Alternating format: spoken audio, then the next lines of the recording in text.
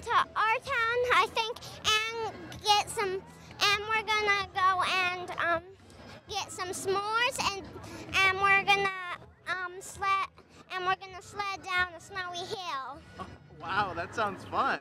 So um, tell me what's easy and what's hard about skating. Well, what's hard is keeping your balance and worrying about slipping. And what's easy about it? You just have to hold somebody's hand um, get the hang of it, you can do it all by yourself. What are your two favorite things about skating? Um, that you have fun and you and and that you always mm, Make friends? make friends. Make friends, great.